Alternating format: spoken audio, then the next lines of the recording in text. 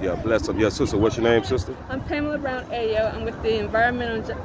I mean, with I am the environmental and climate justice chairperson with the South Dade branch of the NAACP. Okay.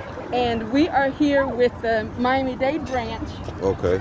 Miss Alicia Moultrie is the Miami Dade branch ECJ chair. Okay. And we're here with this event that she is hosting for the community. Okay. And this is to let people know that Rosa Parks was our hero and we have the students here honoring her by placing a rose okay. on the front seat of the chair that is designated as the Rosa Parks chair. Okay, right on. So yeah, cause we had D.A. Dorsey. For everybody in Miami know we you know we had D.A. Dorsey.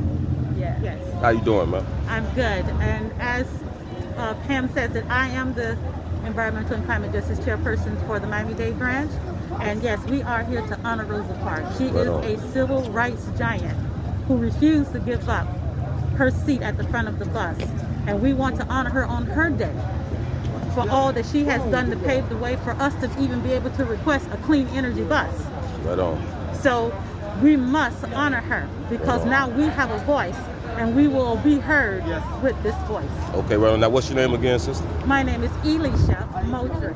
Okay. I am the Environmental and Climate Justice Chairperson for the Miami-Dade branch NAACP. Okay, so the, the people want to reach out to you and find you on Instagram, like what's your Instagram or your Facebook? Uh? Uh, we have the Miami-Dade, um, Miami-Dade NAACP.org is our um, is our website. Okay. Okay. I just want to say I appreciate y'all and everything y'all doing. And you're with? Much respect to uh, Rosa Parks. I say, with you know, respect, sister. Thank you, all right? All right, bless her.